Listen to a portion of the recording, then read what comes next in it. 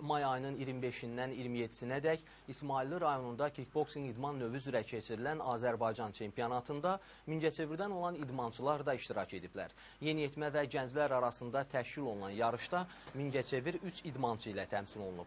Onlardan ikisi mükafatçılar sırasına düşüb. 42 kiloqram çəki dərəcəsində olan Müşfiq Qarazadə bütün rəqiblərini məğlub edərək Azərbaycan çempionatını qazanıb. Digər döyüşçü 45 kiloqramda olan Həsən Hüseynov turniri bürünc medalla başa vurub. Ümumilikdə yarışa Respublikanın müxtəlif şəhər və rayonlarından 300-ə yaxın idmançı qatılıb. Turnirin keçirilməsində məqsəd kickboksing üzrə Azərbaycan milli komandasının heyətini müəyyən etmək, onların döyüş təcrübəsini artırmaq olub.